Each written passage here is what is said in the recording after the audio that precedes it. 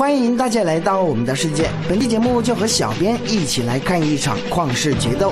这并不是武林中最高深的武艺，也不是江湖中大侠的切磋，而是一场爱与恨的纠缠。啦啦队和裁判都已就位，老司机发车了。首先，两位选手已经进入了比赛场地，在沙石和黄土的场地上，更能体现双方的能力。黄裤头子选手看起来比较愚钝，而平头哥从气势上来看非常的嚣张。双方做好手势，准备开始比赛。首先出手的是平头哥，一个漂亮的假动作，黄裤头貌似完全没有看懂。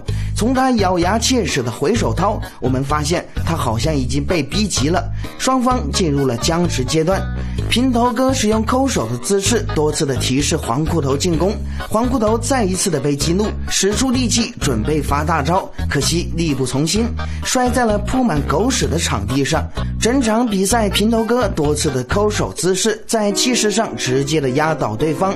黑白电视里学习的猴腿猫脚功夫，成功的在这个时候将自己带上巅峰。